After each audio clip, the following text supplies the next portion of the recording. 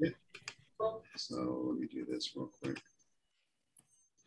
Well, everybody, uh, welcome to Thursday. Um, for those of you on Facebook, I'll be reading your comments, and on Zoom, you're going to actually be able to interact live. So um, you're not going to have to convey your message or raise your hand. Um, you can actually interact live. Um, today, we're going to be looking at Jan Min's uh, colors. He will be the artist in the studio tomorrow. Um, he's actually on Zoom right now, so it's going to actually be uh, one of those times where the artist is also going to be watching, so we can actually um, ask him some questions about his colors as we as we um, go through them. Um, also, I did go through, and uh, this is more for it was a question that Ian had um, from last time that picked out a good portion of the reds. And we can quickly just go through those. And when we're done with Jan Min's colors, I, we can look at some of the reds as well. So anything that had a red as the pigment, I picked it out. So I'll just show you there's just a lot of different types of reds. Um, so with that, thank you for um, joining today. So Majella, thank you. And who do we have on here? Ian's on. Angela is doing the, Angela's watching today, but translating tomorrow. Anna Marie is there. Okay, so we're going to go ahead and start. Hello, Rick. Good to see you. Hello, Nika. Okay, so today we're looking at the, hello Besnick and Nora. Today we're looking at the colors of Jan Min, who will be our artist tomorrow. He's also with us right now. Uh, you can read about him and he's answered quite a few questions. So uh, if you want to read about those ahead of time, you can go to his website, his Instagram. Today we'll be looking at his, his colors.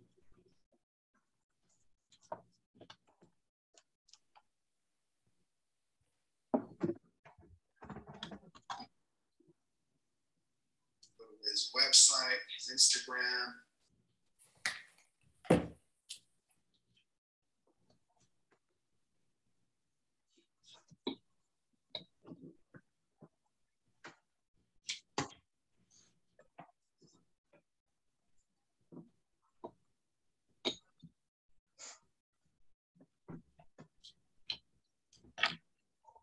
Hello, Juliet.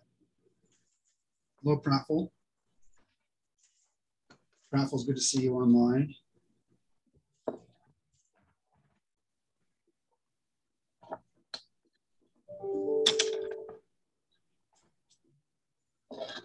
Raffle um, sometime uh, will be in the artist studio. Right now he's traveling the world on a 900 plus foot long ship. Uh, but he paints every, he paints almost every day. It's great to see his artwork. So if you need to see him when he's in the studio sometime in several months. So I'm going to start with uh, gray titanium. And this is a color that Gabriel just asked Jan Min about and, and kind of why why does he use it. Jan Min, as I use this color, can you tell people why you use the uh, gray titanium? Please.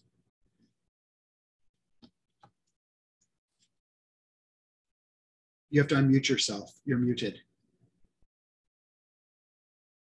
Jan Min, you have to unmute yourself. You're Can muted. I? Yeah. Um, I'm there you go. You you you can hear me? Yes. Yes. Yeah, yeah. Uh, it, it's a lovely color. I, I use it for skies, for uh, for seas, and it is wonderful for mixing, especially with uh, lavender, with uh, the burnt sienna, uh, it's it's it, it's it's a great use. It's it's it's an all-round uh, color. Oh, you know what? I have this on me, I'm not going to show you the colors. So let me flip this around.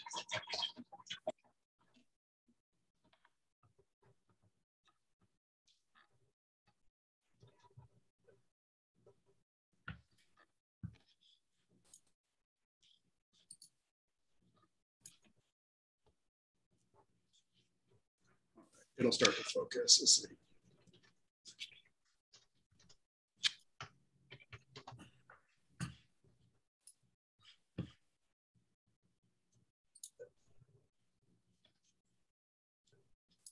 Okay, so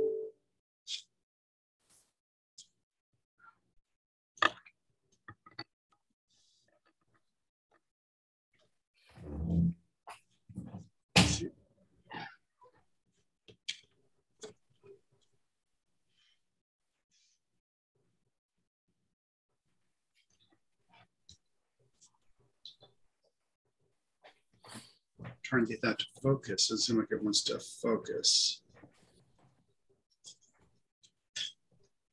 Anyway, this is gonna, I'll get it to focus. This is the gray titanium, and this right here is the um, Aussie red gold. I did something probably shouldn't do. I put a brand new camera on. There we go.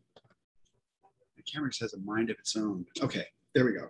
So this is the gray titanium, and this is the Aussie red gold.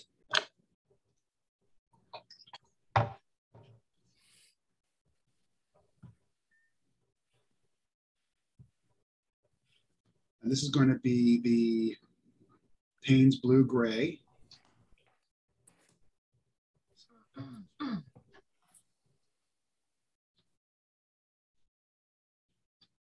Payne's blue gray.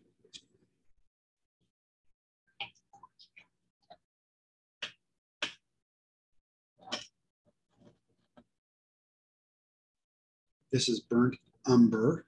Then we'll mix some colors if you like. This is burnt umber.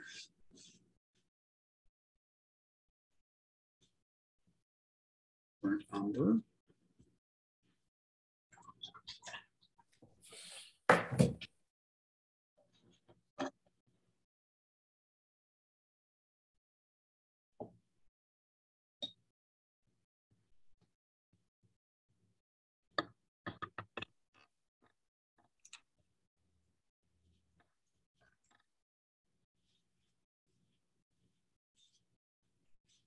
This is CAD red medium Hue. Hello, George. Hello, Claudia.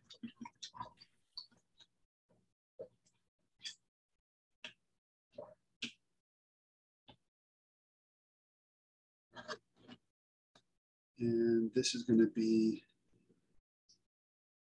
cobalt teal blue.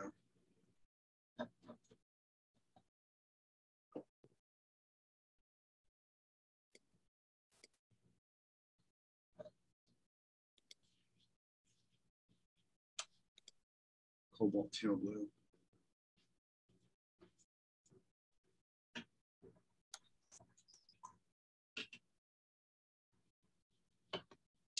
The gray rosemary is um, gray titanium.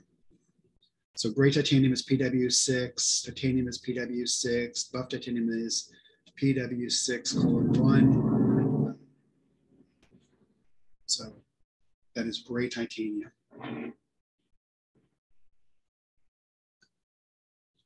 Hello, Raffaele. And Kathy from Australia. Welcome, everybody. Is there? So Giovanni's also painting them. He's painting them from the from pans he's dried.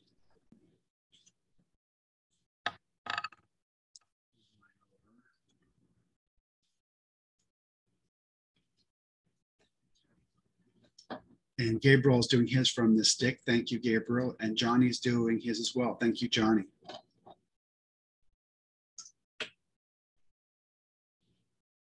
So any colors that you would like to have uh, of these that you'd like to have mixed?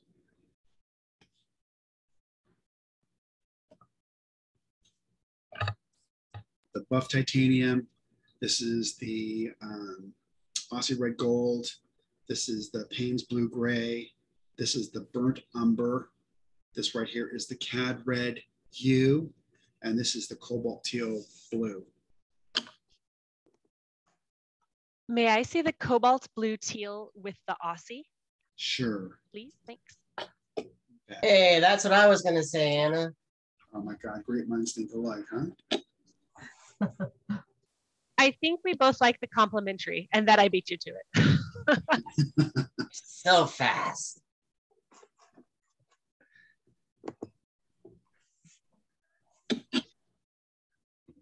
Okay, let's see.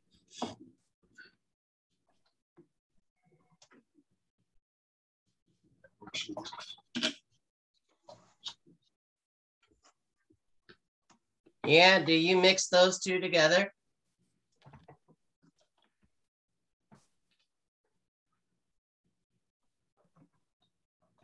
Sometimes, uh, Gabriel.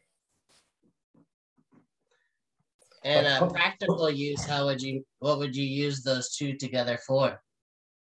Well, may, maybe if I uh, want to to to to to lower a bit the uh, the brilliancy of the Aussie Red Gold, but but not often. The most I mix uh, titanium gray with lavender and uh, uh, bu- burnt sienna to, to to get warm warm grays. Yeah. Thank Is you it so much. possible? Is it possible to mix them side by side with high volume of water so that they mix and keep their vibrancy? I never tried. I never tried. No. So what do you mean by that? Because I'll do it. What do you mean by that? Anna. If you take a juicy puddle of one highly saturated color and a juicy puddle, thank you, Johnny, that's great. See Johnny's work, and a juicy puddle of the other, and then just take a clean wet brush and brush between them so that they merge, but then they don't mix too much to lose saturation. So Johnny beat me to that, and that looks that looks really good. And so did Giovanni. Ethel, can you spot spotlight Johnny for the whole screen and then do Giovanni for the whole screen so that way And do you mix them on the paper or do you mix them on your palette? thank you, Johnny. And then Giovanni. Same thing.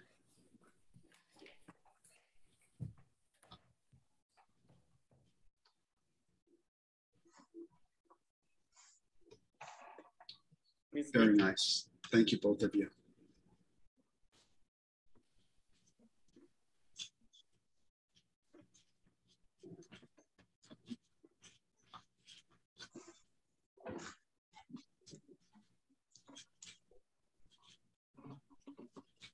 So, Gabriel, is that a new painting you had besides you? Uh, uh, yes. Um, this is a recent one. Um, the reference photo um, was provided by the amazing um, Angela Barbie of her beautiful city of Girona. I didn't realize that was so huge. Very big, Very nice. very, very nice. Congratulations. Thank you. Thank you for encouraging my behavior. Thank you. And Anna, what do you have behind you? This is the painting I spotlighted uh, two last weeks time? back from Jerusalem. Yeah, Awesome, thanks. Awesome.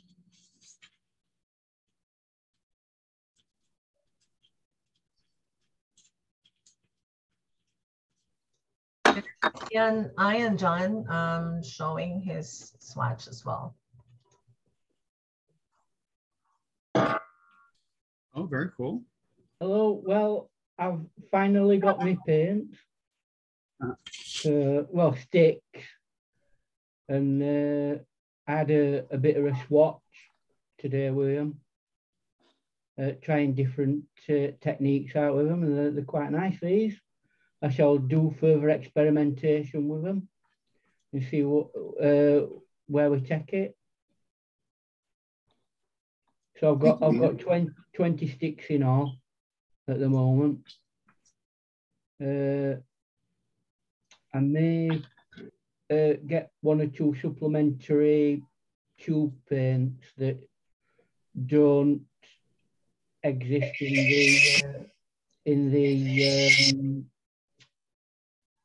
in the stick form. But apart from that, they were very nice. These. Very cool. You like the sticks? Yeah, they're, they're different. Uh, it's it's forcing me to look at um, doing things in a slightly different way than what I would normally, i.e., just using a brush, for example. It's it's unnatural for me to use a stick, so it's making me do it, and it's making me think in different ways about textures. Awesome. Thank you, Ian.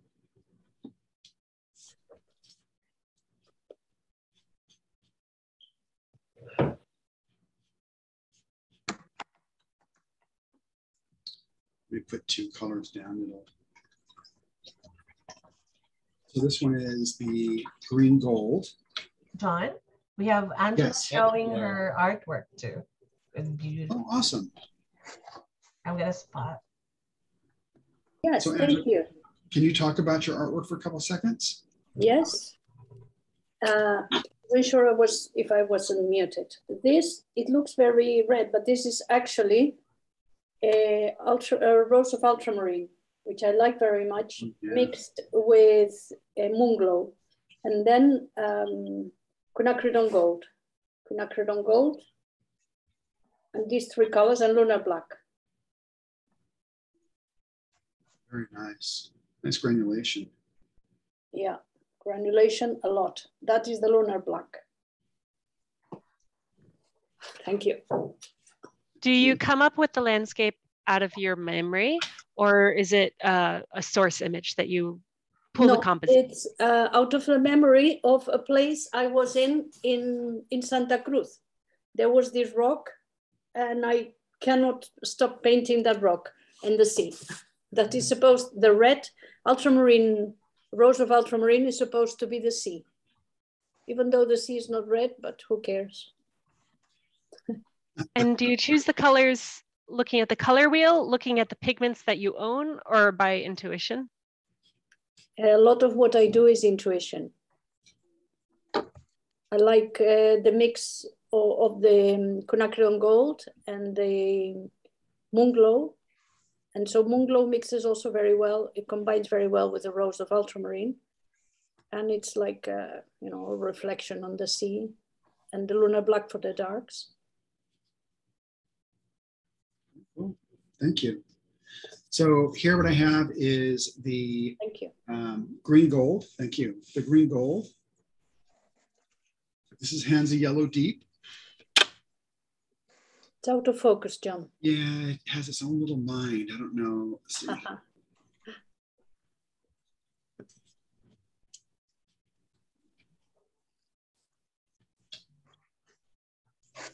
John, Yes, is your camera uh, a Logitech?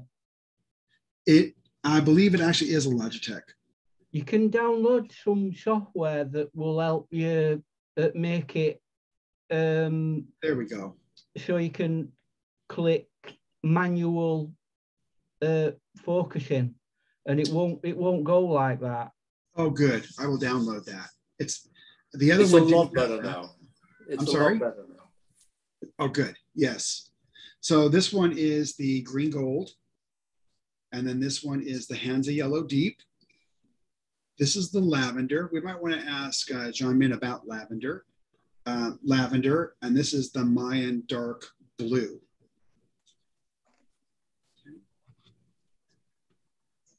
One of the other colors that Jan Min uses is that, which we'll see in a couple of minutes, is the Viriditor. And uh, I've seen that used a couple times, but it might be nice to ask him how he uses that in particular. Excuse me, what is your yellow there? This right, right here is Hansa Yellow Deep. Ah, okay. Yep. All right, so then Johnny's doing them. And then Giovanni, okay.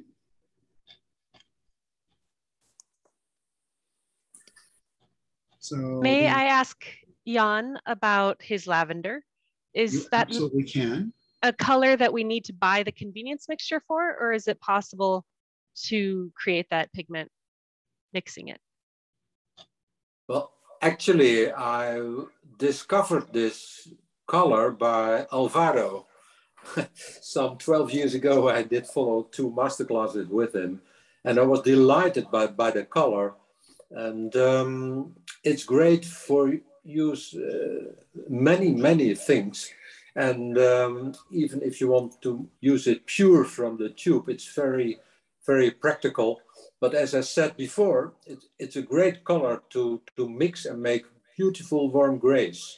If you mix it with uh, burnt sienna or quinacridone sienna, you get beautiful warm grays. It's good for backgrounds and for landscapes. It gives that hazy, misty feeling. So it's a lovely color. If I don't know more what to do in my paintings, I always take some lavender. it's funny, but it, but it's it's true. And secondly, I love blue colors. John knows it, so it's great. May I say that um, uh, Nicolas Lopez is also a fan of lavender and he uses it's in his set and he uses it for light values like when it, they are in the background when yeah. he does you know like a bit atmospheric um, um, at, yes atmospheric scenes then it the colors in the background he also uses it to mix like a light color like a white because it has some white doesn't it Jan oh yes yes it, it has i often use it in mixes uh, for the for, for the skies, the clouds. It it, it, it enlightens, and yes. it's great to make a combination with Payne's blue gray because there's already a bit of blue in it, so yeah, it runs very well. Yeah. Even if you use it pure in a dark background, you can make signs and uh, uh, get spot on, on on that lovely color. Yes, Alvaro cannot do anything without his lavender. Oh, yes. Uh, Jan? Yeah. Uh, as an artist, who, who inspires you? Who, who do you look to as an artist to say, yeah, that's a style I like? Oh, a lot of artists. uh, I, I started my career when, when, when I did study medicines. I was half of the time in our uh, uh, Maritime Museum. And I was a big fan of Willem van de Velde. He, he was actually a Rembrandt amongst the sea painters. But later on, some 15 years ago, I did meet um, Alvaro, and he, he, he really changed my life because his style was so so expressive and emotional.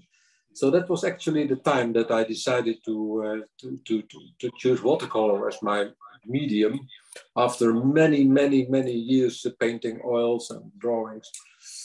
But there are a lot of more uh, great painters. Uh, I, I love Thomas Schaller, I love uh, Praful. Uh, of course, Joseph Zbukvic is a real, real great artist and a lot of more. So every day we are inspired by others, and uh, we, we, we can learn a lot by uh, explore their works, how, how it works, and uh, analyze it. So um, yes, I have a lot of uh, good masters in, in, in my mind. So thank you very much, Armin. So um, there was a question on Facebook, it might have already been answered, but I'm going to answer it again from Allison. And Allison's, what are those colors? So Allison, asking about these colors. This one is the green gold. This one is the Hansa yellow deep. This is the lavender.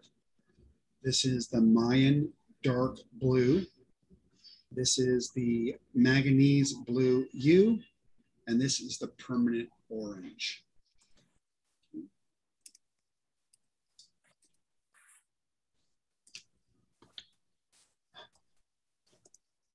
So the lavender, I, I, actually brought the lavender out because of Alvaro. It was the one color that we didn't have within our range, and Alvaro was asking for it, and so, I brought that out in the in the range, which is. So the one I'm going to do here is going to be the parallel. Um, are you happy you did? Are you are you Yes, happy you started absolutely. painting lavender? Is Yes, it a very popular color? It is a popular color. One is because you know Alvaro uses it and he has such a reach among artists. So yes, absolutely. Uh, super. Raffaele is very, uh, uh, I read a comment by Raffaele. He says, John, a special evening on white and on all your colors containing white pigments would be so interesting. Yeah, I, I would a- absolutely be glad to do that. I brought some reds today because Ian was talking about that last week, and I thought I said I would bring them. So I brought the reds this week. I can do the whites next week. Absolutely. That would be Um. Rosemary had a question. That's could you comment on transparency? So Rosemary, um, like like all colors, um, whether something's transparent or opaque or um, semi-transparent, uh, granulate, non-granulate, is all about the pigment. It, it comes down to the pigment and why why the manufacturer um, made it. And the manufacturer is making those pigments for a purpose. They have a client, and usually those clients are um, industry, and usually within industry, um, it can be the, the car industry. And if the, um, the customer, the client is asking for something to be transparent or within the automobile industry, Ford, Chevy, whoever, um, if their chemists are making something because the usage is going to be for transparent, then it becomes a, a it's a transparent pigment. They are chemically making it that way. So there's a lot of uh, power they have as to what um, the characteristics of the pigment, pigment are going to be. So Johnny, what is that? So this is Payne's blue gray with lavender.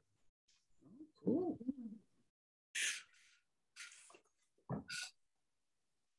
Amazing mix. That was I was explaining. If you are using Payne's blue gray in a dark sky, I- I, I'll show it to, tomorrow. Then that lavender gives a wonderful uh, light in the Payne's blue gray. It's it's amazing what what it does. Exactly, yeah. Yeah. Thank So you. So everybody watching that was Jan Min, and Jan Min is going to be the artist tomorrow. So he's also talking about his colors today.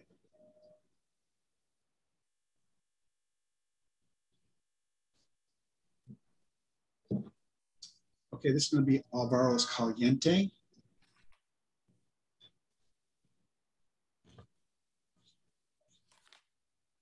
So Alvaro has um, two colors. He has Caliente and he has Fresco. So he has warm, hot, and cool. Jan, You can kind of see it. Kind of see it there. Yes. I, I'm ask, uh, uh, just asking Jan, how how long has it took him to develop his personal palette?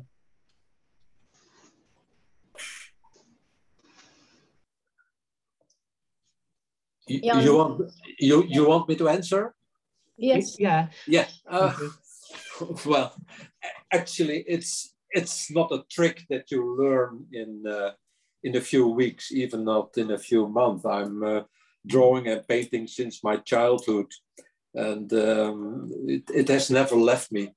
So 20 years ago, I, I did retire uh, quite early and uh, decided to pick up my old love and. Uh, well, I, I paint now every day. So actually, I can't live without painting anymore.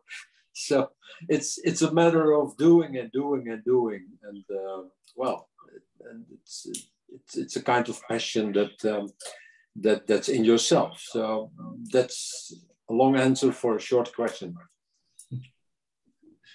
Thank you. So Raphael says, why, why are some why are some automotive colors look more solid or opaque than others?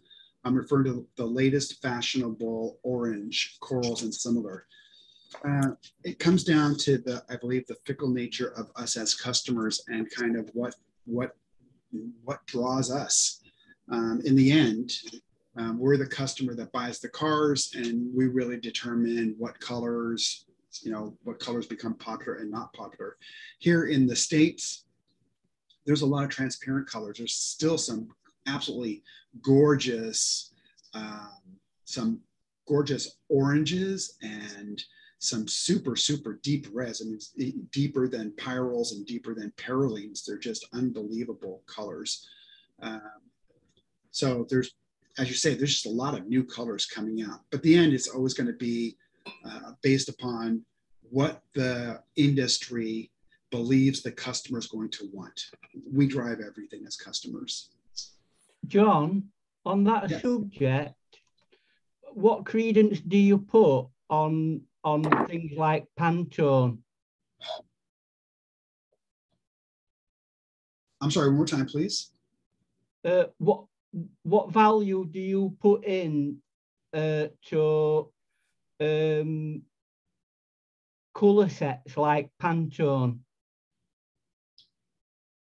So, how we pick color sets? Uh, there's a an organisation that make a, a set of colours, industry standard colours called Pantone. Yes, we use those when we were doing catalogs. We would use Pantone colors.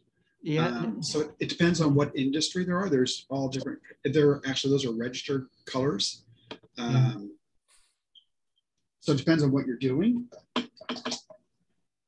so they they actually look at the trends throughout the world, don't they, of, of what colours are popular and what are going to be popular or what they want to push. Yeah, Uh, every. I think every industry has that. I mean, there's there's. It makes sense. You want to you want to kind of keep.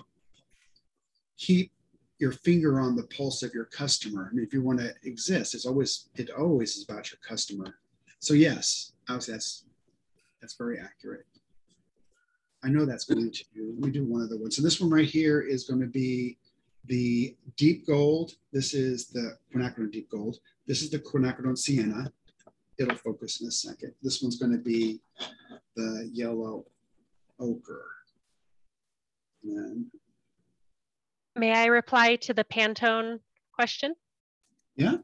I heard a, I, I like to read. I heard a response to that, that as, as artists, we need to also be careful to not only cater to the colors that are in vogue at the moment, because it also dates the work. If you only use colors that are popular in that season. Thanks. Oh yeah, you're very welcome. Yeah, you're just following a trend to some extent, aren't you? And we want to be beyond the crest of that trend, uh, making new discoveries, really, if, if we want to be on top of things. there have been a lot of things being said about the emotional uh, experience of colors. Why are most of the jeans blue? Because blue is, is a safe color, it gives a safe feeling.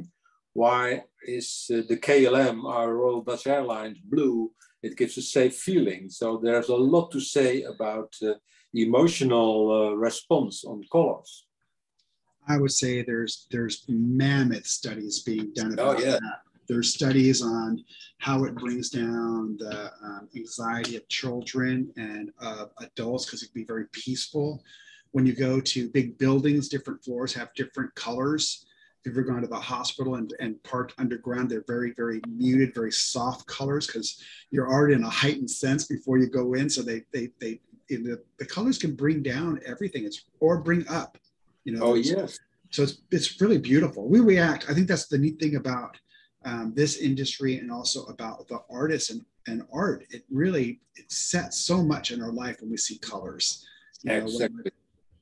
Exactly. So we here have- we see. Go ahead. I didn't hear that. Um, we have um, a guest, Marino. and Just now, I think she wanted to share her works. Okay, sure.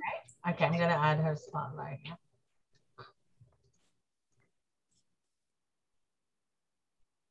Marino, can you turn your um, can you you. unmute yourself? There we go. Now we can hear Yeah. you. So this is my small work actually. I use transparent orange and uh, new gamboge, Oh, all cool. those things. Yeah. and uh, this is one more. Okay. And um, I'll show you one, one more and I'll show you a color mix. Okay.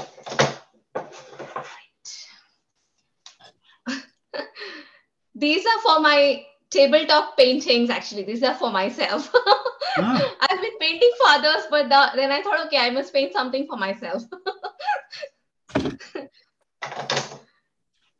And uh, this is a little color study. Uh, okay, here. Color study, uh, which I did. And what are your and, colors uh, These are phthalo blue, phthalo green, and Payne's gray. Okay. Only three colors, so it was fun. And uh, there's one more actually. I just did it. This one, I just did it. Um, this is cobalt teal, alizarin crimson, and uh, quinacridone rose. Yeah, oh, very nice. very beautiful. Okay. Yeah, thank you for sharing that. Okay, thank you so much. Tom, was, we have uh, a, a, question here. Yes. Yeah, sure. Uh, Quin Deep Gold has the same pigment as Quin Gold. Does the difference lie in the concentration? No. So it comes back to uh, many colors can share the can share the same designation. It doesn't mean it's the, it's the same pigment. For example, PV19 is Quin Violet, PV19 is Quin Red, PV19 is Quin Rose. They look nothing like each other, but they have the same, um, same color index, but they have different alpha and beta particles on the molecule. So how and where the um, colorists put it doesn't necessarily mean that's what it looks like. So for quinacridone gold, you can get for PO48, for example, you can get a low, a medium, and a high. And they're all PO48. And in particular, they can be gold. They all look different because they're different shades. Another way to look at that is we just looked at we just looked at gray titanium. This is PW6. I can put right next to this titanium white. It's also PW6. And titanium white does not look like gray titanium, right? And so buff titanium would be the same thing. Buff titanium is also PW6. So does it depend on the particles, the size of the particles? No, it depends on the chemistry and how the particular particle was made. They're all made, they're, they're made per the standard of the industry and the client that wants them. Mm-hmm. Does you. that work the opposite direction also, where you have different pigments that all have the same pigment index number? Does it work the opposite direction where you can have one pigment, I'm thinking pigment red 101, that would be also pigment brown 7 or also yellow, like brown, uh, uh, burnt umber, burnt sienna, or raw ochre within that range? Does it work that you can have one pigment that crosses different pigment index numbers? but it's sourced from the same location? So if something if something is a a natural, then it then it can be sourced from location. So you can have a natural mineral, you can also have a synthetic. Most of so all the quinacridones, the perylenes, the pyrroles, those are all synthetic. Most things made from industry because they need to have kind of absolute perfection it all has to be the same size, the same shape. Nobody wants a granulating car, for example. Um, no. They're made absolutely perfect. So those are created in the laboratory. But if we look at both, when, when industry or whoever submits their color to be um, classified, it's really the institute that decides where it goes. So um, if I send one in and they say it's uh, Pigment Red 101, um, they're not going to also give me um, Pigment Red 48. They're, they're going to give me for my particular pigment, my particular shade, they're going to say this is this is the family that it falls in. So there's a whole regulating body for that. And it comes back into, you know, it comes back into uh, industry. There's the ISO standards. I mean, everything's built to a standard because um, because it's industry. So you mean that the, the, the name is given afterwards and by, uh, by an organization? You can give the name, right? You, you, if you're the creator, you can give the name. Um, you can call it what you will. So most most will actually name it after the, the chemistry house that created it. Um, so uh, Dow Chemical, for example, back in the day with the quinacridones, that's what they decided to call it because it was a five ring structure. They decided to call it quin. Quin means five. There's five rings that make up that molecule. Um, so they get to name it, but they don't get to say where it goes within the PY48, et cetera. That becomes the naming body. The naming body does that. They may be able to drive it through industry. I don't know quite how that works, but I know for certain it's going to be the naming body that decides where it goes and within what family. Mm-hmm. So, That's great. Thank you. Yeah, there's, whole, there's, a, there's a whole art to what they do and, and how they do it. Don, I have those too. Okay, go ahead, Gabriel. I have those two here, uh, the Quin Gold and the Quin Gold Deep. Oh, very cool. Can you spot that, spotlight that?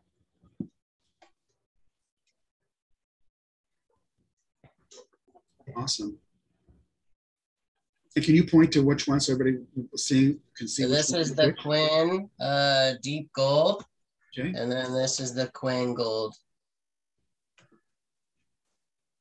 Okay. Thank you. Quin Deep nice Gold. I love the Quin Deep Gold. I can get such a really nice glow when I can get like almost just water. You can get so much out of this color. Thank you very much, Gabriel. Welcome. And where did she go?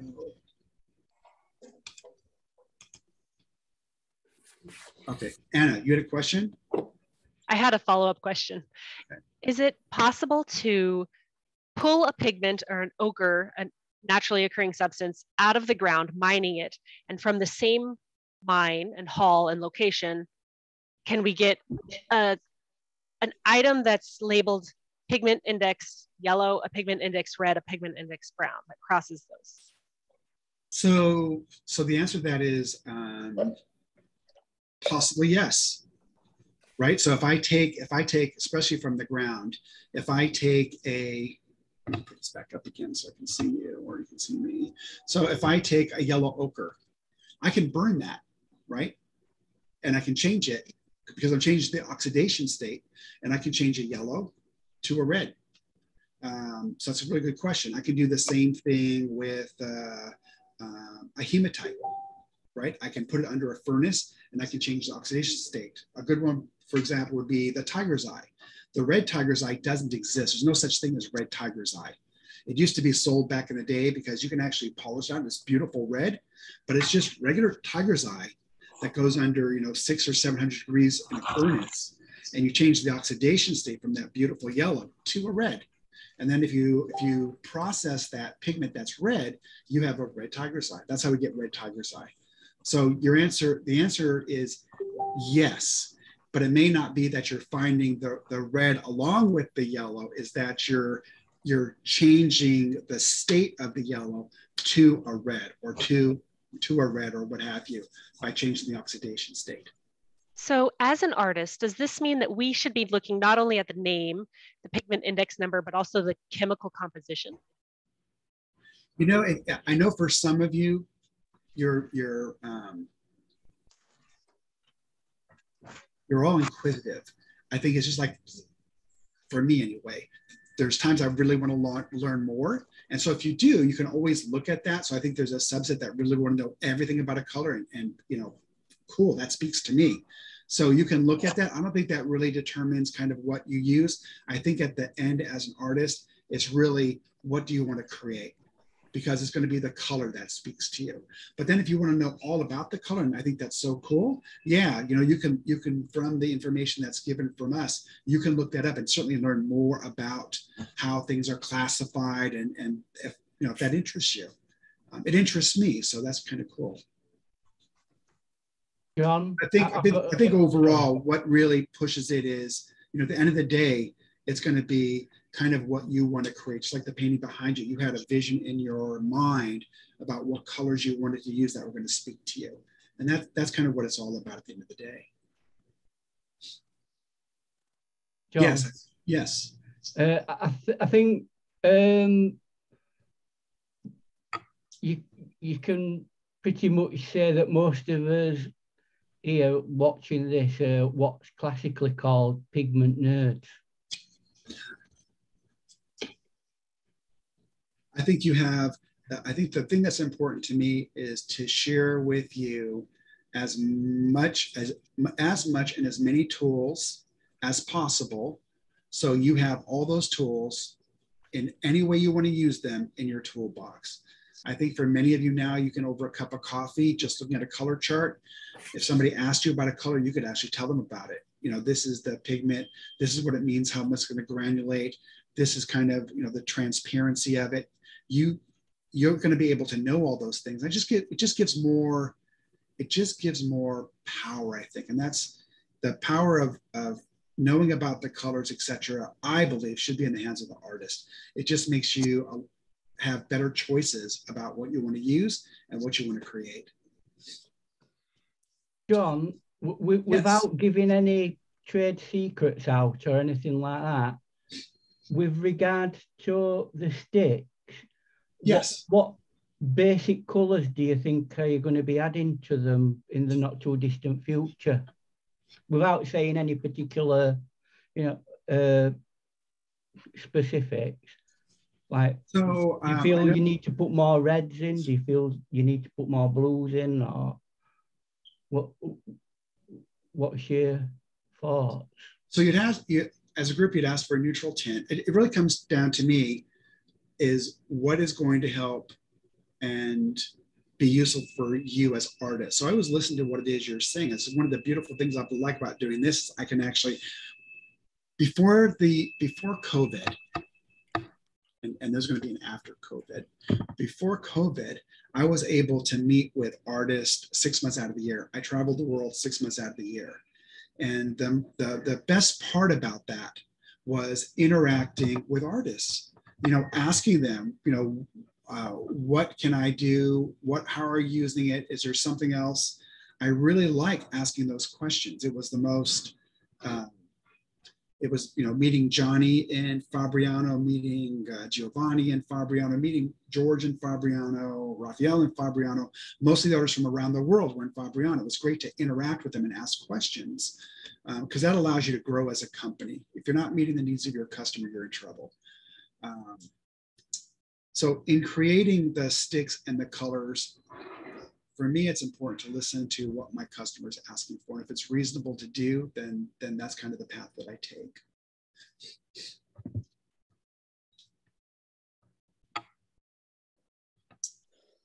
Did I lose sound? Can you hear me?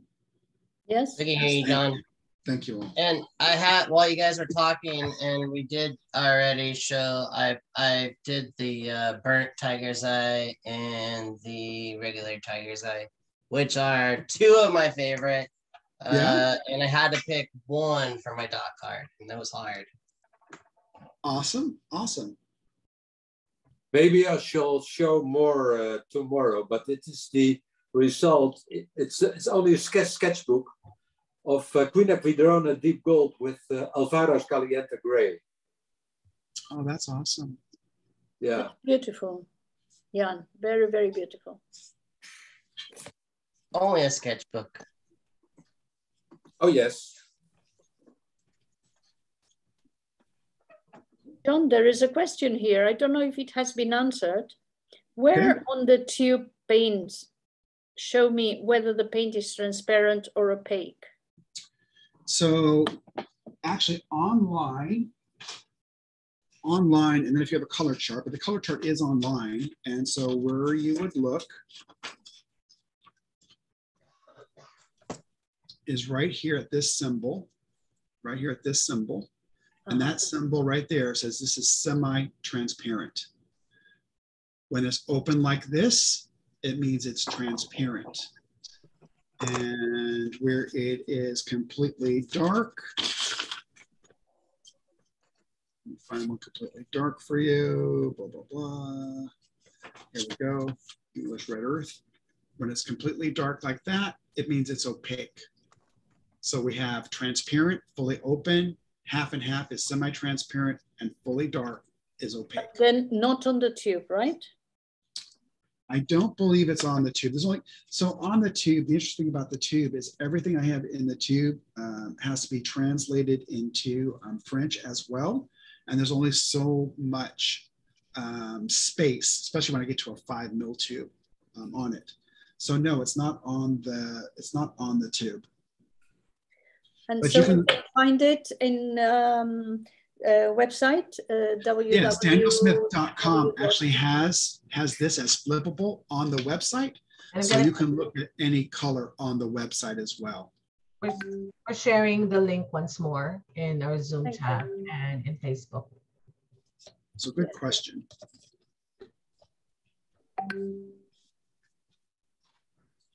Okay, so there's a question last week asked about reds, and I wanted to show you some of the reds, which kind of um, kind of touches uh, what some of you have been asking today.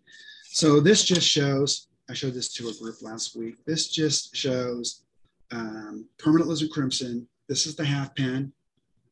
This is from the tube, and this is from the stick. And the, they're same binder. It's the same binder. It's the same pigment. It's just different water concentration. So the least amount of water is in the pan, followed then by the stick, and lastly, the tube. Okay, it's the only difference. Um, another question that was asked, and we've gone over this, so many of you have probably seen this. If you're interested in making your color look like a pastel, you can do that by just adding water. Um, this is adding uh, just different concentrations of water. And because what you're seeing is more white coming through, it's looked like more of a pastel look to it.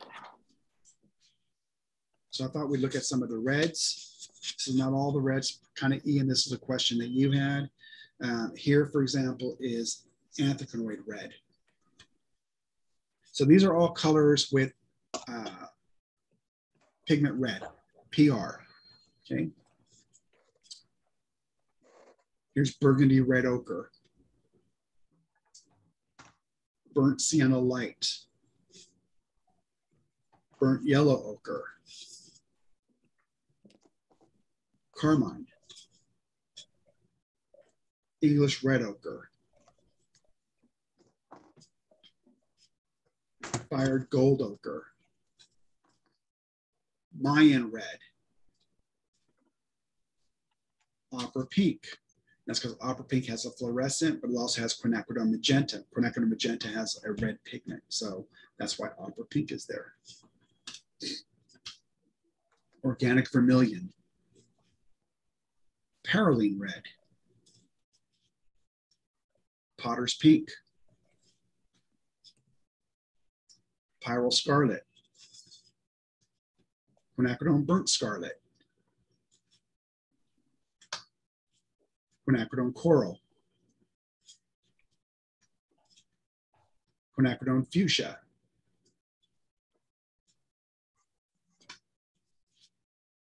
quinacridone lilac, quinacridone magenta, which is why opera pink's there because the underlying color under the fluorescent is quinacridone magenta.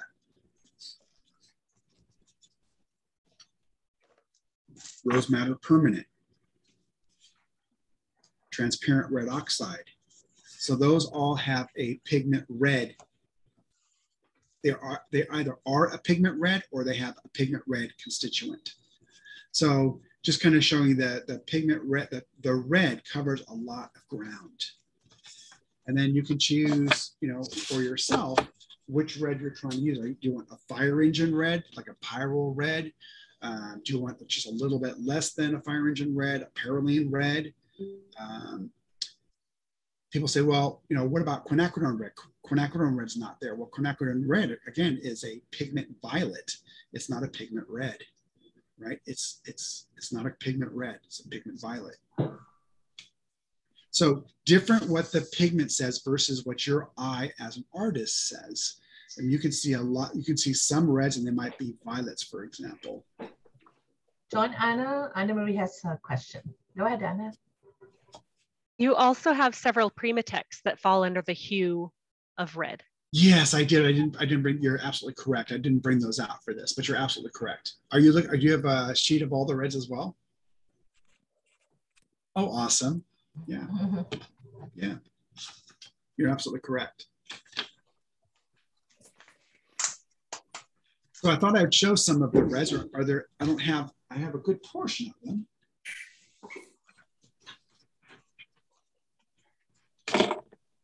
Figured we could look at some of them.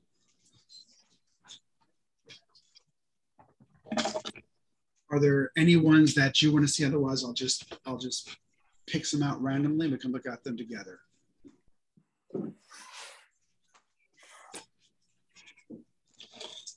I would appreciate learning more about Potter's Pink.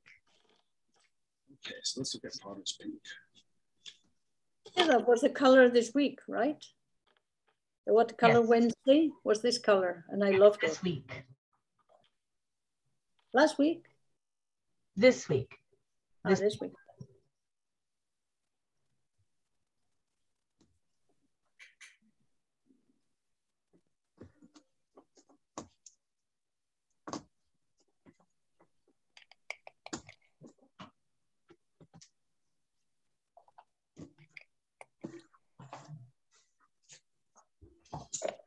Okay, John, do you have uh, deep scarlet there?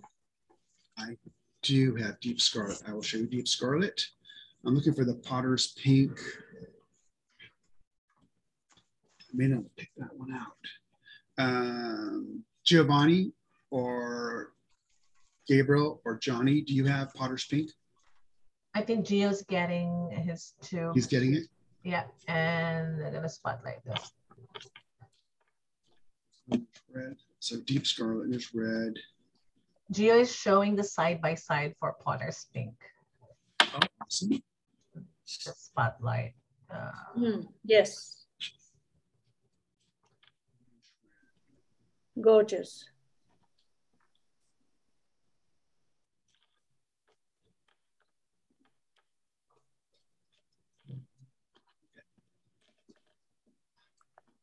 So Deep Scarlet. Oop, That's a lot of. I mixed Pyrrol, Pyrrol Orange and Lunar Red Rock. It's two types of red, hold, hold it, please, um, Angela. I'm gonna like that. one. Let me just put you on stop. There. Uh, I think it's flip, please. One more, and one more. There. Like that, Yes. or like that. Okay, there. Close up. Is good.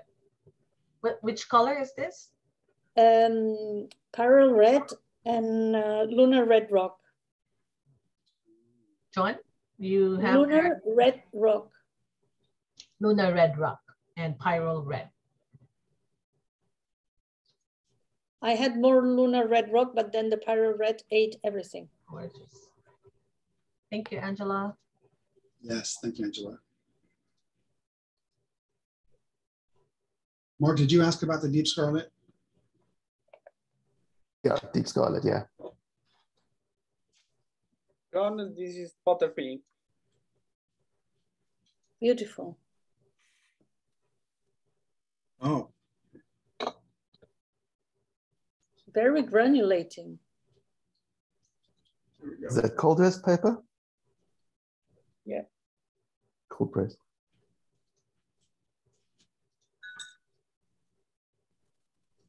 So that is the Deep Scarlet. That's deep. It's deep. I love it. This is this is the red oh. rocket that Angela was using. So it's going to have a lot of granulation in it.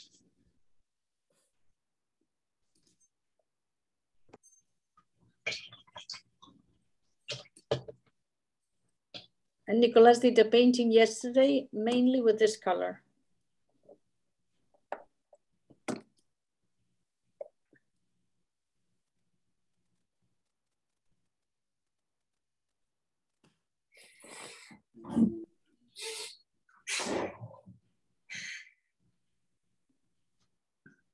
The English, English red earth.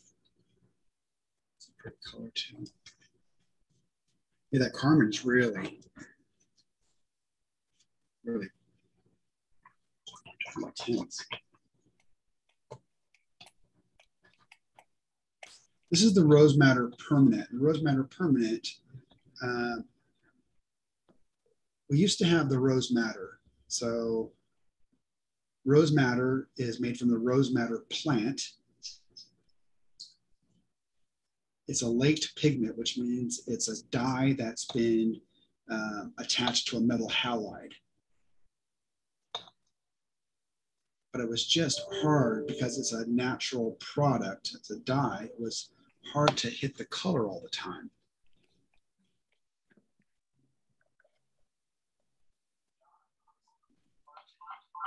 So that's rose madder permanent.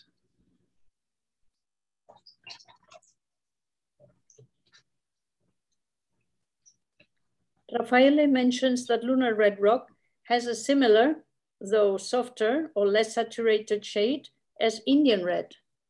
Do you agree? Uh, no, Indi- no.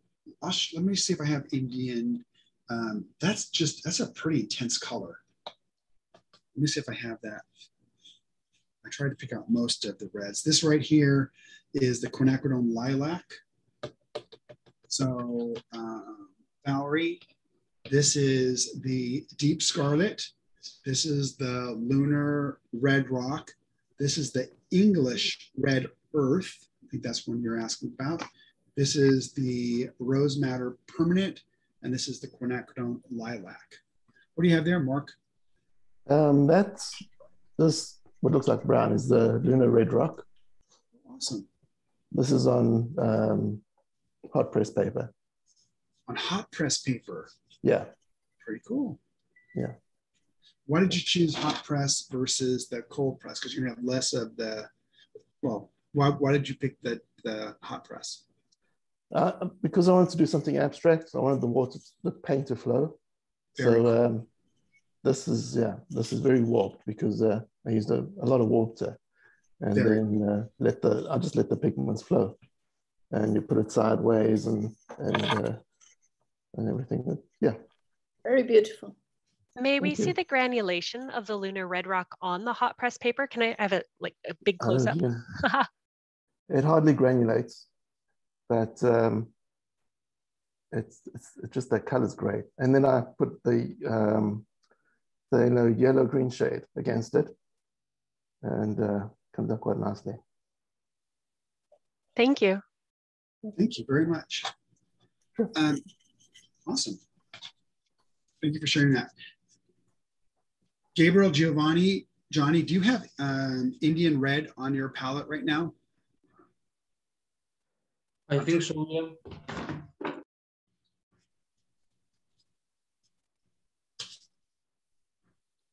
I also have this uh, little sketch uh, on hot pressed paper. I'm sorry for the camera. No, no, not at all.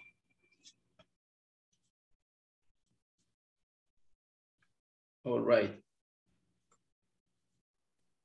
So Your ninja red. I don't. Um, can you mention the color again, please, Geo? India red. Okay, thank you. Oh, there we go. So the India red is is right there. It's it's a much it's a it's a much darker color. It's a very pretty color.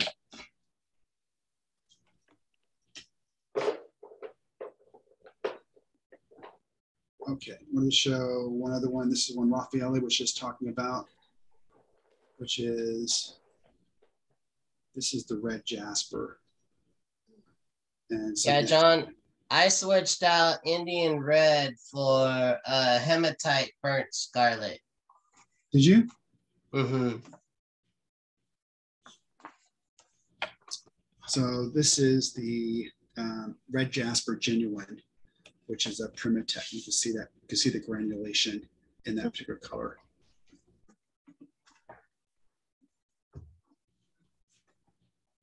Okay, so with that, thank you, everybody. Thank you for sharing, for those of you sharing your art, thank you for sharing your art. Thank you for um, taking part. Um, Jan Min, who's been on with us today, will be uh, the artist tomorrow. It'll be interesting to see how he uses all these colors. Anna, thank you for um, your input as well. Thank you. Uh, Mark, thank you. Ian, thank you. Thank you all for joining. I hope you can all join tomorrow and get to ask Jan Min questions. It'll be open dialogue on the, um, the Zoom side. So if you want to ask interactive, go ahead and, and do Zoom. Zoom, while it does have a video, you can turn the video off and just put a picture of yourself or a picture of your artwork. And if neither one, it'll just have your name. So it's uh, you can, you don't have to worry about the, the video portion of it. So with that, thank you all very much. I appreciate you joining and I'll see you tomorrow. Bye-bye, everybody. Bye-bye. Thank you, You're John. Thanks, everyone. Beautiful session.